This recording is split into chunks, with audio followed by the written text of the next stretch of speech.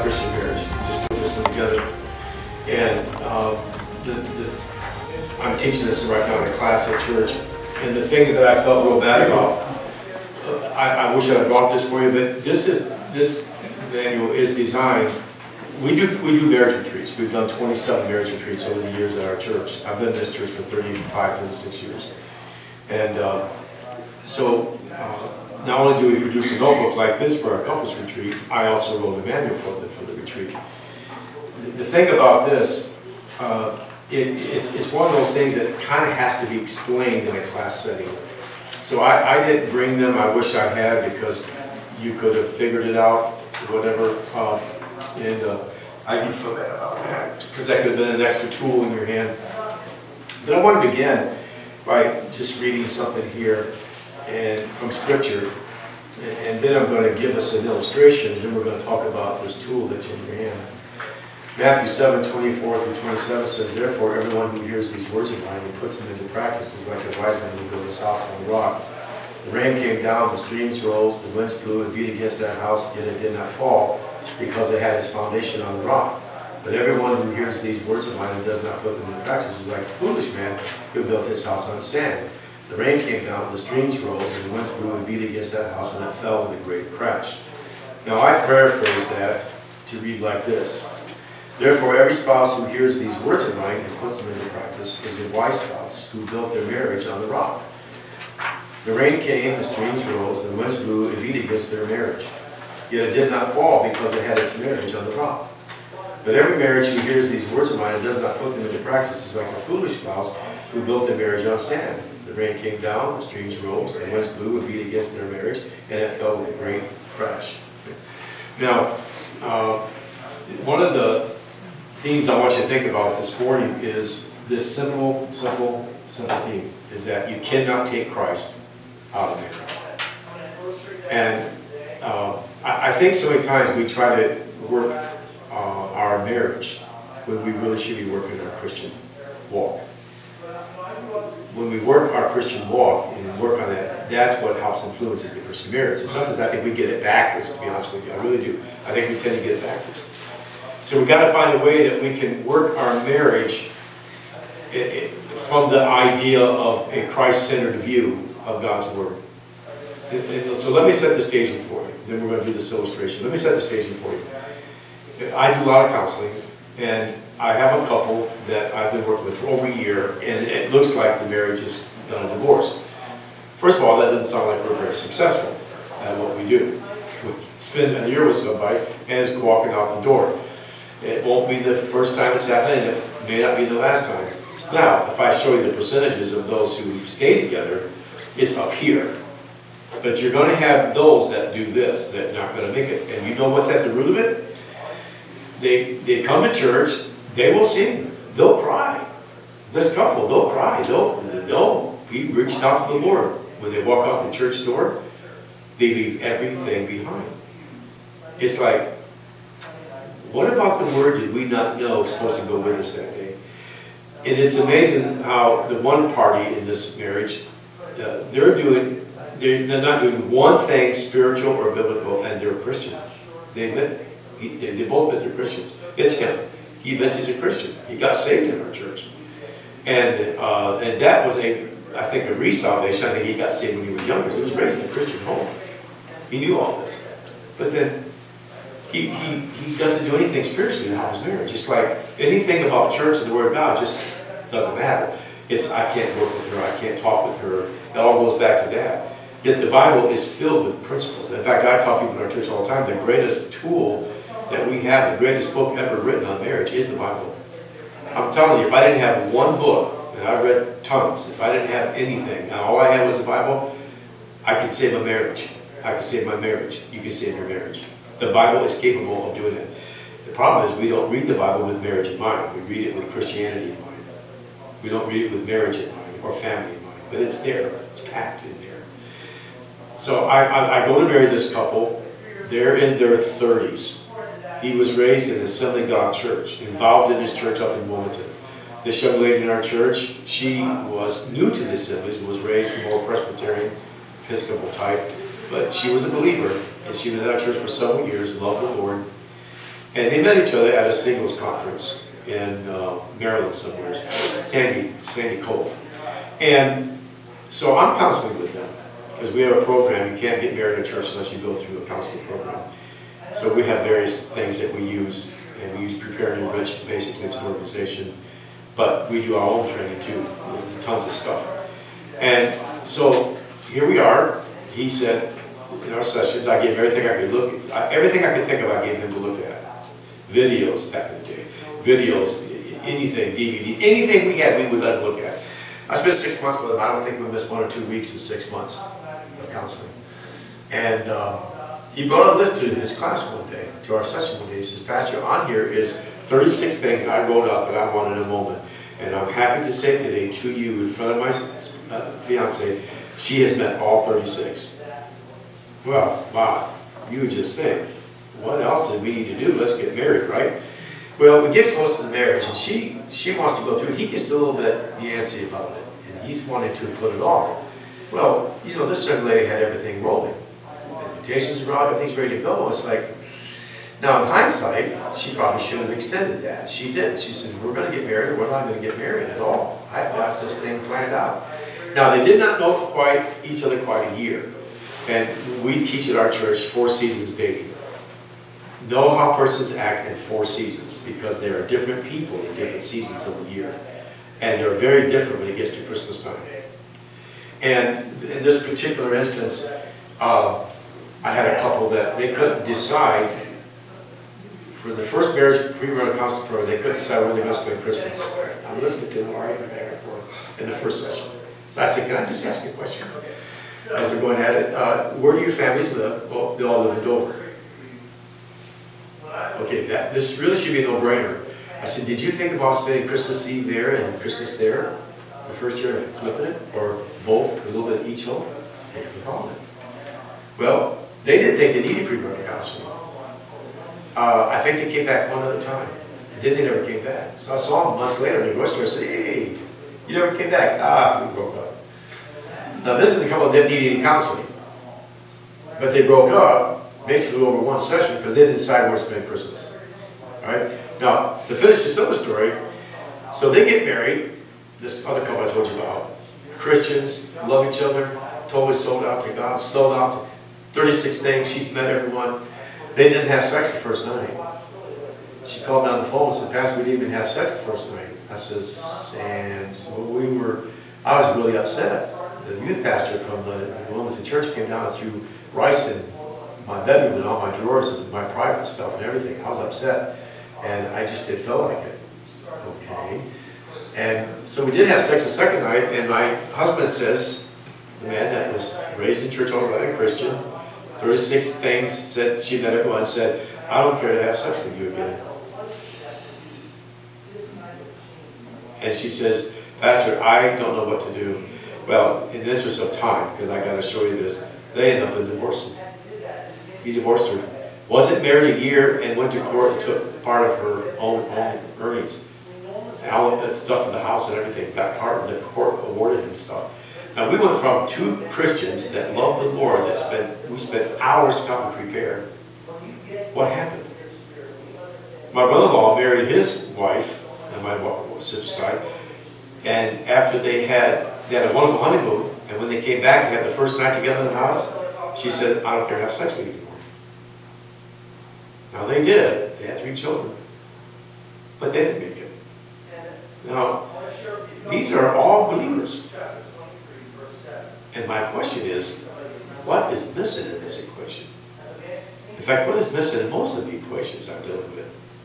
People leave Christ out of the marriage. And when you leave Christ out, you've just left out the Word. So they're not turning to the Word and activating the Word to be... You see, we want the Word to work for us, but my philosophy is if you don't work the Word, then the word won't work. But when you work the word, then the word will work. The word will work for you. There's a tongue The word, we want the word to work for us, but until we work the word, the word won't work for us. We have to activate this word. It's we call it in counseling intentional choices versus choice dysfunction. Choice, you know, dysfunction. So I need some. I need. Uh, an illustration here, so I need, I need three guys to come up here. I hate guys, but one of you guys have to be a woman, so which one of you guys is willing to play? Come on, come on up here, right? I need another guy up here, married guy, preferably, right? Yeah, I'll keep from over here, stand, all right? All right, you hold that candle, the candle, all right? The red one. I need someone to play Jesus, watch every hand go up. Somebody play Jesus. Come on, Jesus. One of you. Me? Yeah, one up, play Jesus. Well, none of us, none of You us can change your name to Jesus from now on. Now, what I wanna, And you're the tallest of the three. what I wanna show you is this. Uh, Have you ever seen the candlelight ceremony? Yes. Okay. In the candlelight ceremony. Uh, we're not gonna light you up, just you. In the candlelight ceremony, what happens is, is as you notice the air blowing through the room right now, I guarantee these flames are not synced. They're going different directions, they're not synced together. Because they're two individuals, they're two individual lights. And so at the ceremony, we always stress, when they get married, that the, the ideal is you want to become one in Christ. So we're gonna have different views, different goals, all things, but now we're choosing to blend those together. In who? In Christ. See, this is a covenant before God, that the two shall become one. It truly is a mystery, as the Bible says. Now, we're gonna do something first differently. These are both Christians. So, this is Christ, so we're not gonna like this yet, but I want you to stand in front of Christ this way, facing the crowd. What you are now is now you are one in Christ. Now you're one in Christ, because you accept Christ as your Savior, mm-hmm. all right? Now I want you to stand in front of Him. Now you have become one in Christ. So I want you to envision that this is all one, one in Christ, what you see in front of you. Now, when I'm with Christ and Christ is in me, then I become responsible, as we said, I become responsible for the believerhood responsibilities. Now, let's come back over here as a spouse, back over there as a spouse. Now, at the candlelight ceremony, we have the, the spouses light the center candle. So both, both of you light that candle at the same time. And let it get good and, right, okay. Now, I want you to extinguish uh, yours and extinguish yours, okay? Now, what we have here is, we have two have become one in Christ. So both are in who? Christ, one light. Now watch this. When I wave the winds of adversity that we just read about, storms, rains, flood, light, do you see the light separating? Or does it stay, remain the one? But you know there's two lights there. You know there's two lights. There was not one light that made that light. But it doesn't separate. So try to imagine the way you would treat your spouse is exactly the way you're treating yourself. We might like to feel that we are one up because we want this or want that. But all we've done is really hurt ourselves. When we hurt our spouse, we only hurt ourselves because we're one. Now, watch this. Uh, basically speaking, as a believer, am I going to go out tomorrow and just do as I please, anytime I want, how I want? I'm not going to do that because I'm one with Christ. I know that that would please the Lord. You get where I'm going, don't you? Then why would we do that with our spouse if we're one with our spouse who's in Christ? The greatest gift I can give my wife in marriage is to give her over to the Lord, let God do what He wants to do in and through her at all times. And then I get the leftovers. That's not bad stuff. The best thing my wife can do is give me over to the Lord, let God do with me as He wants and pleases at all times, and then she gets the leftovers. That's not a bad deal. Because you know God's going to deliver to each other this powerful relationship that's being developed. But the key here is we're all one in Christ. Never again will those lights ever separate unless one person decides to walk away. And then they take their own individuality back. Not that you've lost it, but then they take back their own rights and they walk away with their own rights, with their own light again. But they pull away from their spouse. And biblically speaking, if it's not a biblical, proper separation or divorce, they've also walked away in disobedience. Is that, is that you understand what I'm saying there? Mm-hmm. All right, thank you, Jill, for that. Thank you, appreciate it very much. So if I could, if, if I could draw your attention to this manual, I gotta see what time it is, okay, you see that, that time. What I want to do is, I wanna make sure that, uh, we all know what happened in the garden. Yes. By all means. You, I apologize. What I put together was, and, and we're gonna go page by page because I want to be able to take time to explain this. So if you look at this quote, learn to take change, we'll look at this for your second page. Learn to take change, to make change your friend and take it by the hand before it takes you by the throat.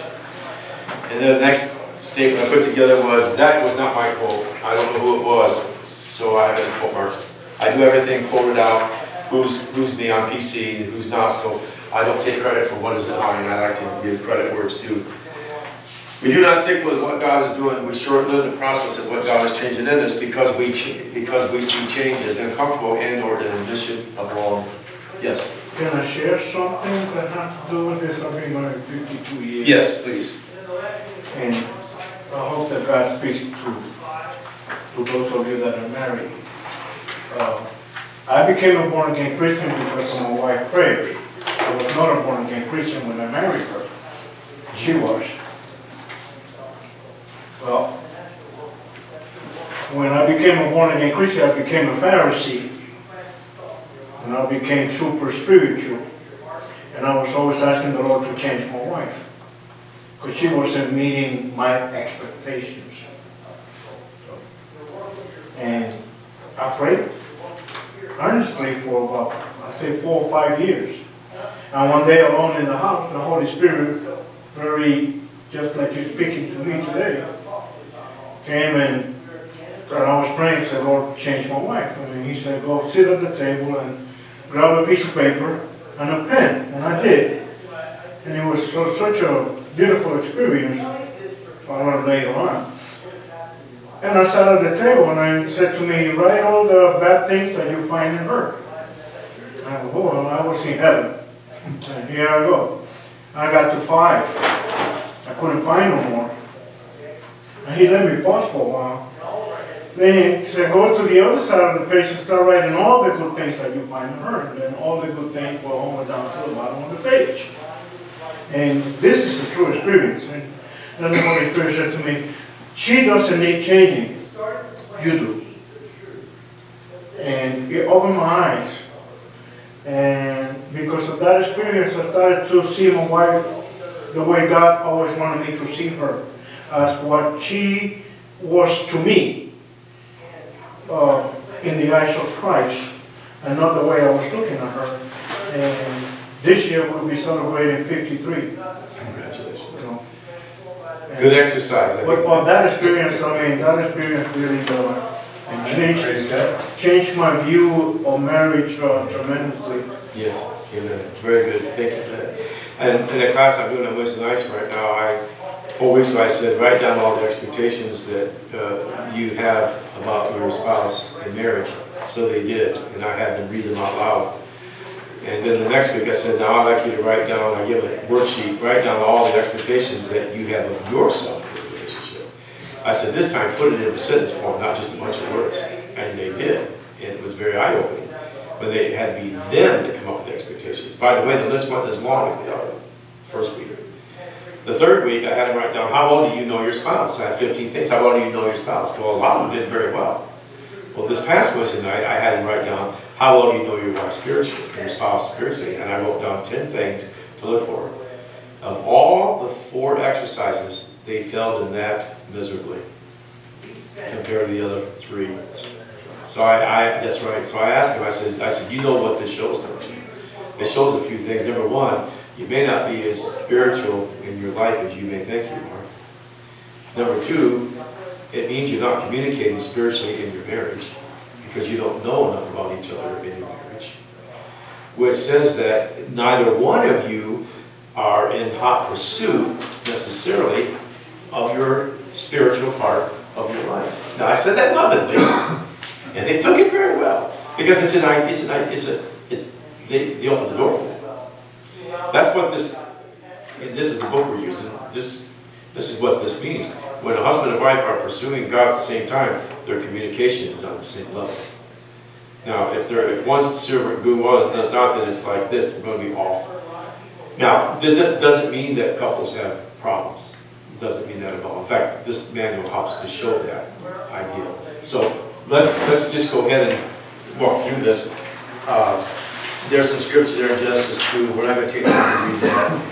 There's some scripture from Ephesians chapter 5, we won't take time to read that. There's scripture for 1 Peter 3, we're not gonna take time to do that. But let me tell you, the, one thing you do wanna read for sure, uh, is, uh,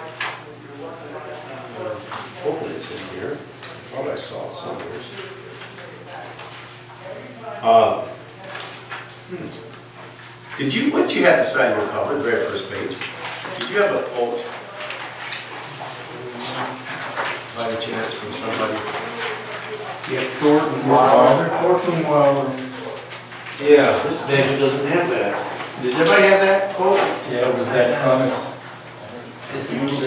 Thornton Wilder. Yeah, but there's that, uh, but there's a, maybe it's near the back. Is there another quote there? What do you have? What's that say? It says, I didn't marry. Yeah, read that out loud. I don't, some of you don't have that, do you? That's not good. Yeah, the first page. All right, who doesn't have it? Here's one that does. Let's switch. Don't worry if you wrote it, don't worry. Oh, if you need a copy, of something you wrote? No, no, no. All right. Anybody else not have it? I so apologize.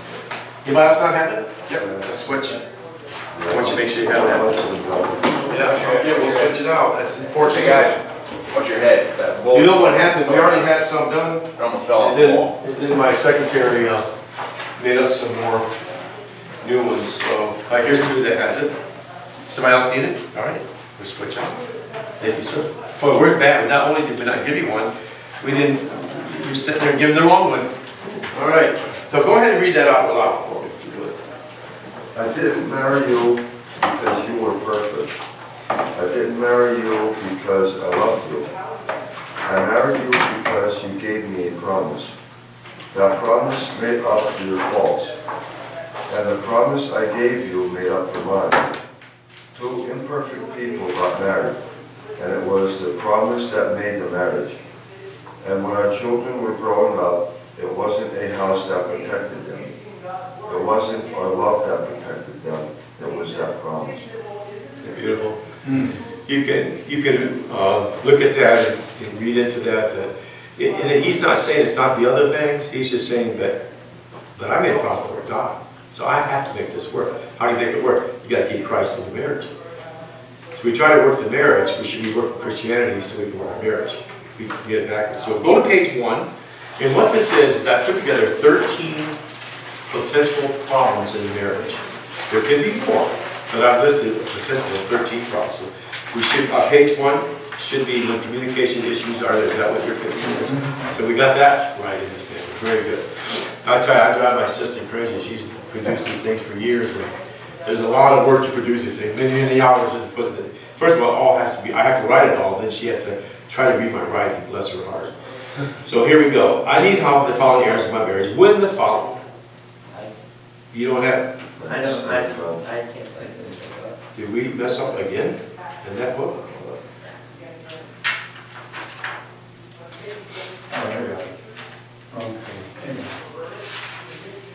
There you go. Good. Now, when, I'm gonna, what I'm gonna do is probably not read all thirteen because of the interest of time.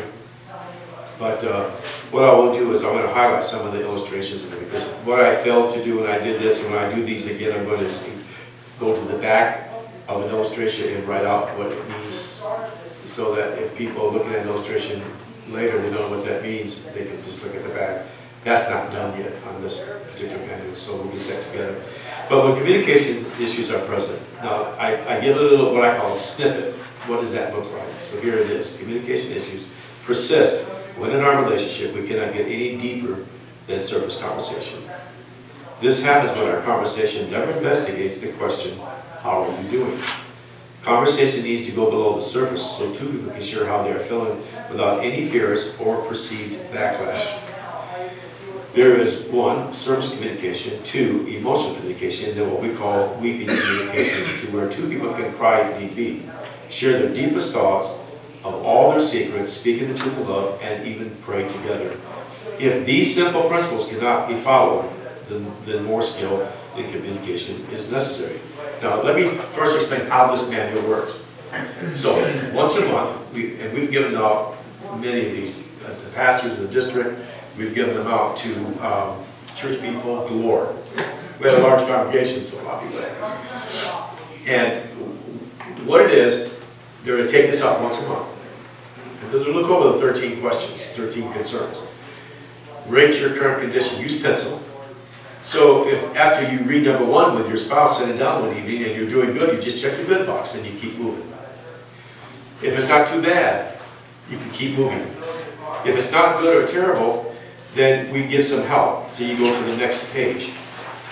And, uh, uh, David Powell came out in his book, Why, uh, Am I Afraid to Love, gives five levels of communication. I, on the right side, have simplified it into three things. I've been using these three things for years. Uh, I just combined some things that David Powell's book did. He said, sharing your, your cliches, typical gay stuff. So you, you can begin to see uh, the differences in the levels as you fall down with. And, and one and two, I put down service communication. Any couple can do this. The second bracket, reveal opinions, truthful thoughts expressed, share emotions, sadness, or is what we call emotional communication. Is where you, you kind of get below the surface, and, and that's when the real feelings start to come out. Then you have the being transparent, going from being an argumentative, possibly to sharing your deepest thoughts emotionally, or what we call weeping, sewing into, and adding all these up, we sew into the relationship. Um, this is not easy for some men to do. It's hard for men to get that emotional. They, they, they have a rougher exterior. And, and usually a rough exterior is indicative of a rough interior. So now we've opened the whole world of counseling to where, listen, you, you, you want to bless your wife during the week, then get as deep into the conversation you can with her. Because that will bless her heart immensely. That she sees your vulnerable hearts. She sees your openness, your true feelings. Even if you're not comfortable with what she's gonna, she may not be comfortable with what you hear, she wants to hear that. Me, your wife wants to hear this. Down below, my secretary put this picture in. I said, I said, Renee, you're gonna get me in trouble. Look at that guy, he looks wicked. She said, ah, well, that's how men are sometimes. So I let it stay. So by way, not her, my assistant. But you've heard what defensive thinking is, right? Defensive thinking is you are thinking of what you're gonna say while your spouse is talking. So you really haven't heard a thing she said because you're busy preparing your statement. Whereas on the active listening side, you not only listened well to what your spouse said, but because my wife and I do this, we do this at our team meetings. You, you, you kidding me? Have you ever sat in a room with 10 team members at a meeting on a Tuesday, like at our place? We're all talking at one time. We, we all interrupted each other. Not all the time, but you get my drift. And so there's things that we miss because we're all talking, we're all excited about talking about things. Well, same thing happens between the relationship. If you can give your spouse that undivided attention while she's talking, you will hear what she's saying better. And that will help her to know what you're feeling about. She does the same thing. Now, let's move on to this chart. Uh, I just had this chart out Wednesday night in my class. I put this chart together to show what we call performing under peak pressure. Have you ever had it at times in the relationship with family, kids, whatever, that there's this intense level of pressure going in the home? It's just like nobody can say anything without singing their words. Are you coming to dinner? Dinner's ready. Hello. Everybody sings. That's why so many people sing party because everybody sings in their home all the time. They always sing their uh, tension instead of just speaking their tension.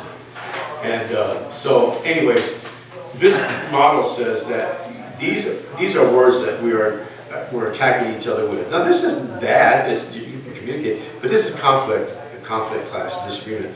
You only have so much time, gentlemen, if we can up, jump out the window of opportunity. Because after a while, those words start cutting deep into our spirit.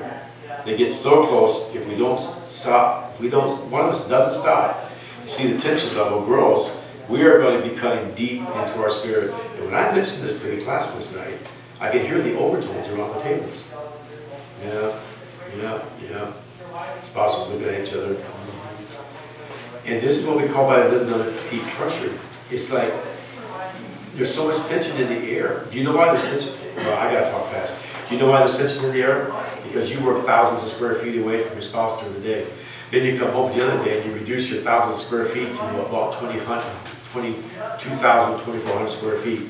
Well, you get into the living room at night to watch TV, you reduce your, your uh, square footage down to uh, three, 400 square feet. Then you get into your bed at night, you reduce it down to what, 30, 40 square feet. The tension, the closer you get at the end of the day, when there's pressure between you, the greater the tension is in the closer spaces. So the safest place on earth should be the bedroom. The bed in the bedroom should be the safest place on earth. It should be the bed in the bedroom. The bed should be the safest place on earth for your spouse. And that's the place where most tension is built because now you have to lay beside each other at night. So the, the, the footage has shrunk, so the tension has increased. All right, that's what this policy is about. Somebody has to stop it to with Diana. When a, when a person does not cry, their tears drip into their soul. Therefore, cry. Cry. Because those tears are going to let you. Now, we, we have another question. When finances are a constant strain between two people, any couple, any time can have financial challenges, but when it is constant, and is a constant source of pain, disagreement, anger, feelings, mistrust, secrecy of spending, then constant skill may be needed. It is becoming more prevalent for couples to divide their money into two accounts. This is proven in some cases to create a certain amount of free spending without accountability. It sometimes breeds secretive liberties when one can spend as much as he or she wants without communicating to the other. Boy, do I know, I deal with this in the office all the time. This causes unanswered questions in the other spouse as to where the money is gone. This disunity breeds suspicion. Should this be happening without full agreement between spouses? Counsel may be necessary. By the way, here's our point. If you can't follow these suggestions that we gave you, then you do have to call somebody to help. Never, make sure you understand that. You do have to call somebody to help you. If, but these charts are to help you resolve it to prevent marriage counseling. Because you can work on it yourself if you follow these simple rules. Yes. Uh, One thing that was revealed to me is that our financial responsibility to a wife doesn't end uh, when they put us in the grave. Uh, That as Christian husband, we should have a financial plan that will provide for our wife when we are gone, that she doesn't have to suffer. That's right. Uh, So it is a responsibility that we have as men to leave enough for them to, live comfortable That's right. uh, and not be in, in, in need or or depending on children and relatives to provide for That's her. exactly right. Thank you. Uh, The next illustration, the finances there, chart three. Uh, These are 10 things you can work with with your finances. I I really wish we had time to go over them, but these are just simple, 10 simple tips. I've written two manuals on uh, finances and uh, how to do budgets and stuff. And uh, so then there's a sample page you can use uh, that we put, to- we put together that people can use to help with their finances. You can just look at some of those charts. I do want to let you know that, um, I, I brought some business cards, but my email is pastor at calvarydover.org if you want to jot that down. Pastor at calvarydover.org, all small case. Pastor at calvarydover.org. And I want you to, please feel free to email me about any of these things, because I know we won't have time to go into depth. Pastor at calvarydover.org. Now, here's one, when arguing disagree over sexual issues or uncomfortable sexual experiences. Uh, This subject is used as there are many facets to it. For instance, if there was sexual, I'm on page three, if there was sexual abuse in your younger years, this can, and most likely will come back and present problems. As a wife, you may not like certain experiences in sex, thinking that they are wrong, but in actuality, it was your dad, your brother, relative, friend, or stranger who did it to you. This could have happened to you as a boy as well. Failing to see proper affection and love in the home growing up makes one deficient in how to express and receive proper love and affection. I deal with that in counseling all the time.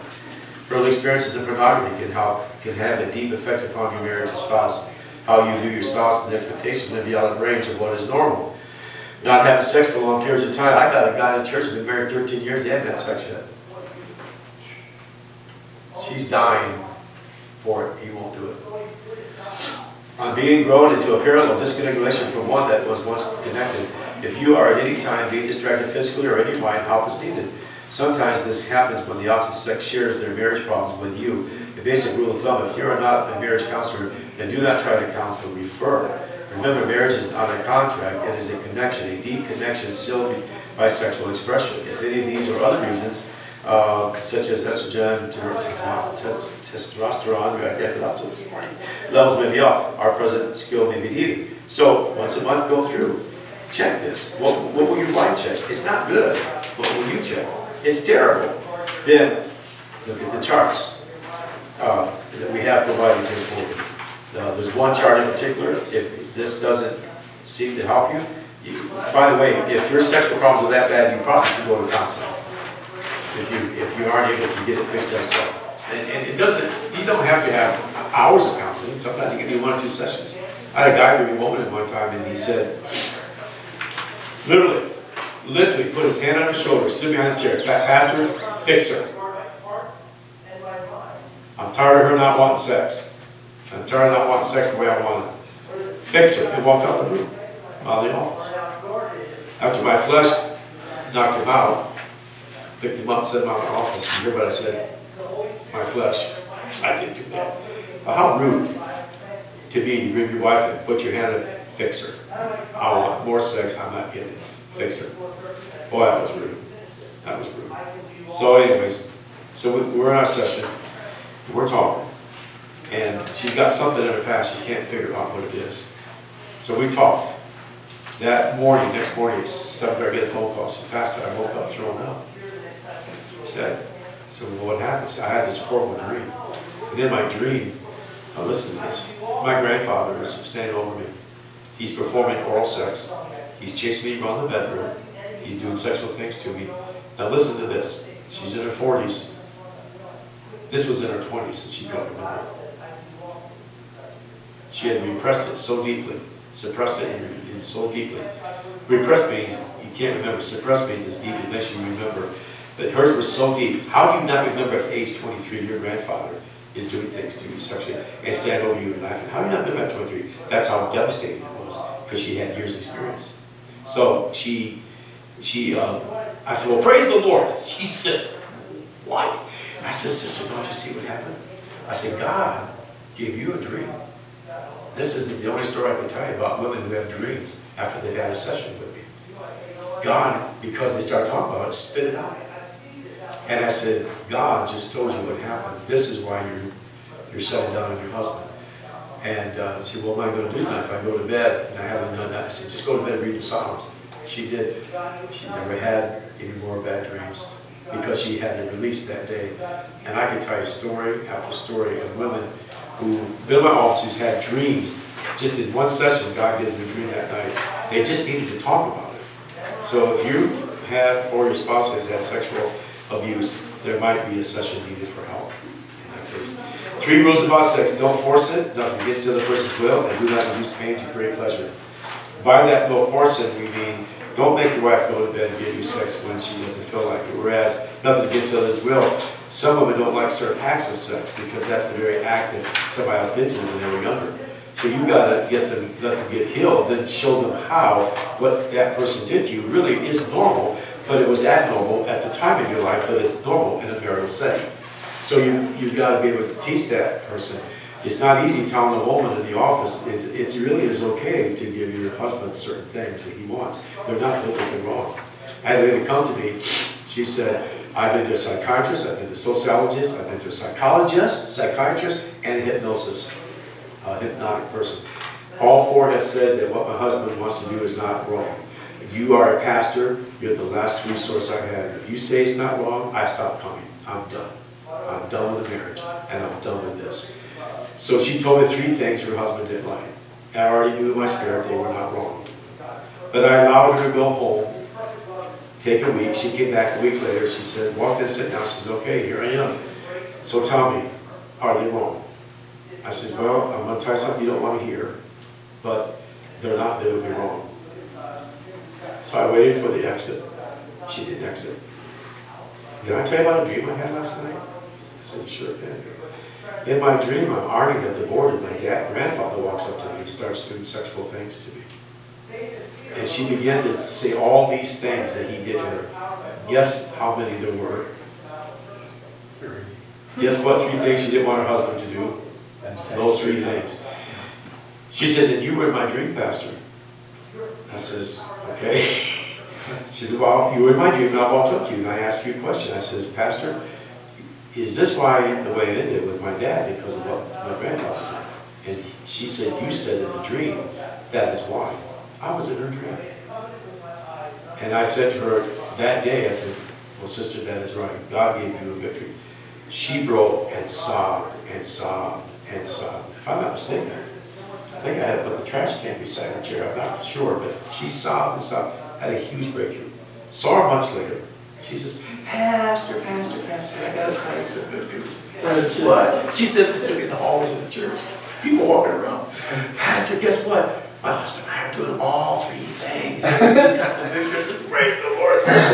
And she did go on to get other counseling with our counselor on staff. And she came to me for that part and finished up counseling and other things with the other counselor.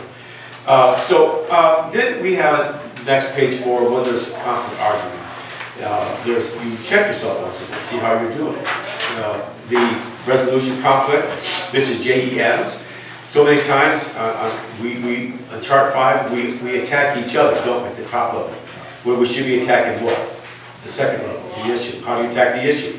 Well, you, uh, uh, should look like this, brother. And you just, you just passed it. Brother, you just passed it through this. Next page, here you go. So what you should do is, when, when your, when your wife is talking, put yourself in her shoes. This is J.E. Adams' model. Put yourself in her shoes so that when she's talking to you, you, you hear your, you hear her talking in a way that, how it's affecting her, because you put yourself in her shoes with her feelings. She's to put herself into your shoes, so when you're talking, she's actually pretending she's you. So she can feel what you're feeling. Here's how my wife does it. If you are a husband and wife and, and you're not getting along well, she actually has you get up and switch seats in the session. And he says, she'll say to the man, now you're sitting in your wife's seat, so I want you to play the role of your wife. I want you to hear what your wife's saying to you as if it's you. Boy, does it work well. So his model works good. If you will put yourself in your spouse's shoes, it's not only will you hear, but you begin to feel. Let me tell you something else we miss. Body language. We gotta look at body language. When you look at body language and you feel what they're feeling, let me tell you something about children. Let me tell you something. Don't be fooled when they're running around the house smiling, thinking everything's okay. Watch their mood, watch their body language, listen well. Your kids are watching you like a hawk. Uh, this is from Preparing to Bridge, they give you a conflict resolution. Ten things you can do to prepare to meet together and discuss an issue. It's very intense, it's very overboard, but they provide this so if two people just cannot get it resolved in a normal argument, then have a, what's called a conflict resolution chart and do all ten things and then get together and get it resolved. You can fix your problems without going to a counselor. Right? Is there a lack of spiritual unity present? Let's just take a look at the chart. This is, this is not my chart. I've doctored it up, this came from another counselor, and I'll remember his name, so I couldn't give him credit, I want to give credit. Our tendency is we try to bring our relationship together on a physical level. See the bottom chart? We try to bring our relationship on a physical level together, and it, it doesn't work well that way. By the way, prior to marriage, a lot of that happens, right? What you do is, at the top chart, when you bring yourself together spiritually, see that red that red um, spot, when you come together spiritually, it helps bring you together emotionally, which helps bring you together physically. Do you know when I do premarital counseling, I've already lost them. I, most of those couples just sit there buying time because we won't marry them unless they go through the program. I can tell they're just sitting there. You can just tell they want to get through it, so they go out and do their thing. Many of them have had sex outside of marriage. So you can't reason with them because they've already crossed that boundary. And it's so powerful, so strong to them, they can't imagine life without them. But then, they get married, and then they end up back in my office or Jody's office or somebody else's office, getting help to save the marriage because they didn't work on the marriage, because they weren't paying attention to us, because they were busy being too physical together or living together. We, my wife uh, was responsible to have two doctors come the board in uh, chiropractors, and they were living together. And I was, she did the discipleship for months to know them in the Lord, they both got saved. But they were living together, going to get married. And uh, so I did the premarital counseling, and I said to them, I said, Pete, Julie, the first thing you got to do is stop having sex. First thing, thank you. First thing you gotta do is stop having sex, all right? It's the first thing you gotta do. All right, let's move on. I, I feel bad because we're not gonna have time to finish all this, but if you, let me take you back to, some of these are self-explanatory, read the questions, do, do this once a month together. You will help yourself. Let me get back, there's one.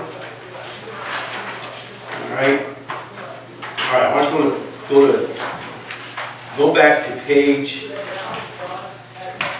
we gotta talk about this, page ten. Go back to, go to page ten and go to the chart, chart eight, it's called the Murphy adultery. We have to talk about this before we close out. And the rest of the manual, it's got a lot of good stuff in the back, marriage resource, everything that you see is a marriage resource, I have read. These are good books you can look up, I've read all these books. And, uh, there's just some other good helps in the back, helps in the back. I, I, I, could do a whole day just teaching this manual. And, uh, but did you find this chart? All right, there's, I, years ago, I was really concerned about all the affairs, which there is no such thing as affair. Did you know that? There's no such thing as Bible as an affair. It's called adultery. That's what it is. It's adultery. And we get away from that word adultery because it's a spooky word, but uh, it's adultery. But we use the word affair. And we call it the birth of adultery. And you see the left side there, safe communication. These are things that are safe to do when you're with another woman, at work, whatever. The second column is, is what we call cautious communication. How are you doing? Because if you look at our model before, when you start saying, how are you doing, you now start getting into the deeper level of a person's being. The surface stuff is gone. Well, you know, come to think about it, my marriage sucks. Really? I'm sorry to hear that. What's going on? So she shares at work. Then all he has to say is one thing. What do you think it is? Can you guess? If he's not a man of God who's careful, what do you think he says? Something like this. Ah, I know what you mean. Kind of got the same issues, just a little bit different. We're struggling. Let's talk sometime. I'm telling you guys, I've done thousands of hours of counseling, hundreds of couples. What I just told you, I hear it all the time. That workplace, that internet is a killer if we're not careful. So we have what's crossing the line. Dangerous communication, verbal affair, emotional vow. By the way, I need to change this because there's another affair that happens. There's two more affairs that happen. Uh, well, no, there's one more affair that happens before you have your verbal affair and emotional vow. You know what it is? Thought affair. That's where we use the word affair. okay? Thought. We commit, we start committing thoughts the mind, adultery in the mind, which later becomes words, which later becomes emotionally involved. Then you start seeing all the things that happen. Then you get to the physical touching. You know, um, cross lunch. It was nice talking to you. Watch me. It was nice talking to you today. That's a signal. Did you know that? This is a signal. Really nice talking today. Squeezing the hand, rubbing the thumb. That's a signal. When you send that, I'm saying I care for you. Our body language sends more message than you can imagine. So what happens in the physical touch, then you have the adultery, and see the tension line continues to grow and grow and grow. So what we have to recommend here is, i- i- i- this next chart I put together to show how we justify adultery. You see all these arrows coming at each other? You see all those arrows? That's disagreement you've had with your spouse over the years. Isn't it interesting, after 19 years of marriage, that someone else, at the top left, someone else comes on the scene? And all of a sudden, they think they have justification for adultery. Well, we say, why don't you, why don't you start down here at the bottom, Philip? Why don't you start here fixing your problems now? Why did you wait for years to go by to think, you had a justification to commit adultery? You follow? Then we have a, a trust model we put together, how do to rebuild trust after that. Well, I have to close because the boss walked by, but I have, I have something for you to take home. At our couples retreats, we do this all the time. Done this for years at our couples retreat. Uh, Even if you're not married, you will be one day. What this is, is a, you take one of those. All right? You're, you're, you, if you're married, once you take your wife to a restaurant and have a candlelight dinner? We do this all the time. We go, when we have our retreats.